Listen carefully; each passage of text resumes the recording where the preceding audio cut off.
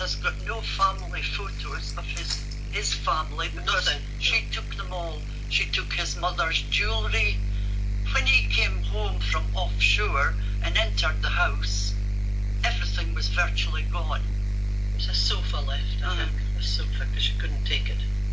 But all the antiques that they had collected together were all gone. So she's nobody's fool.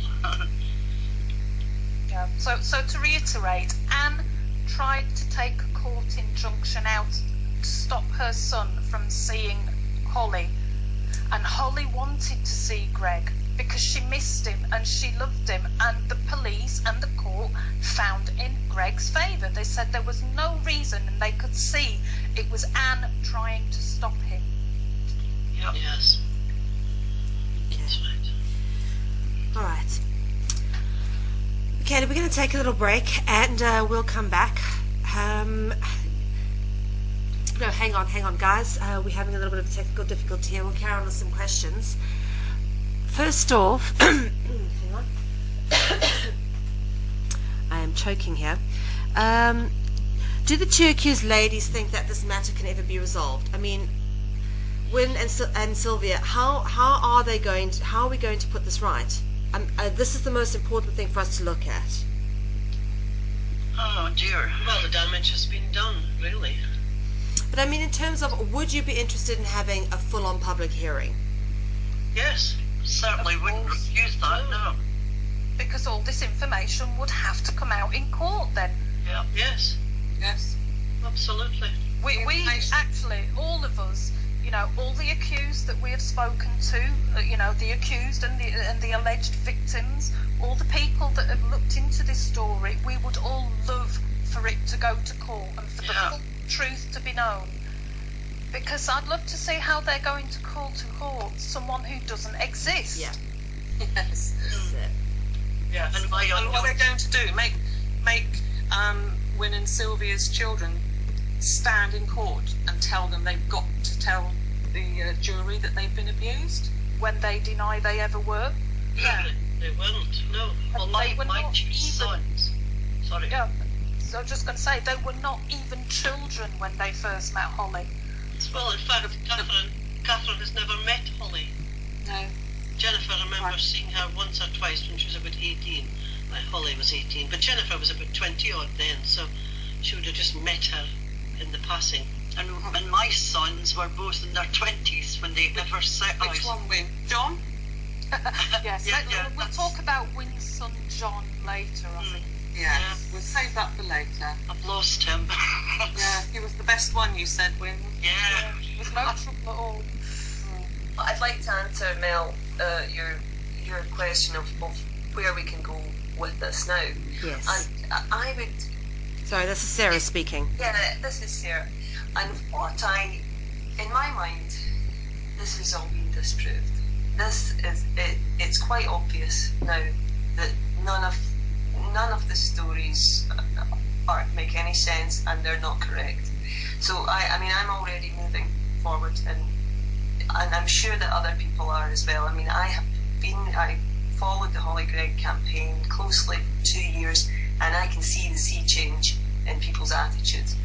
And I and I do think it's reflecting very badly on the truth movement in the UK because people have come to the Hollie Greig campaign and used it for their own means, and without doing without doing any of the background checking.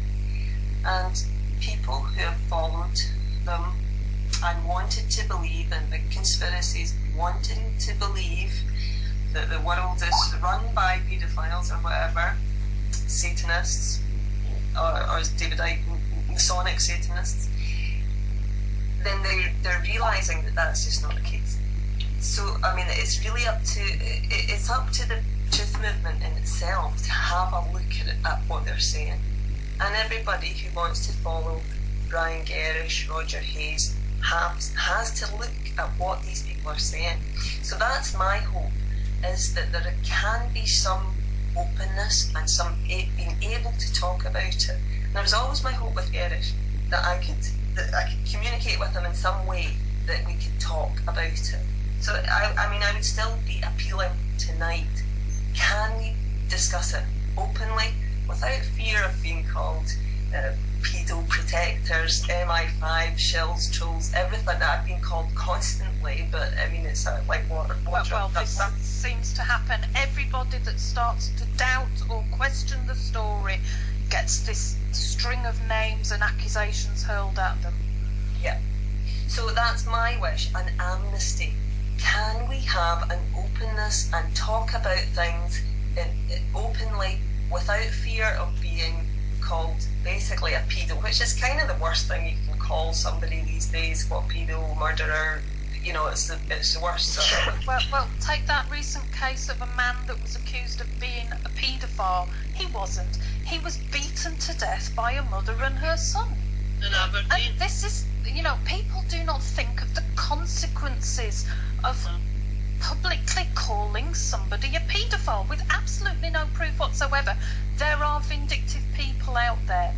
mentally ill people out there. You shouldn't encourage mentally ill people in their delusions or their want for vengeance against somebody.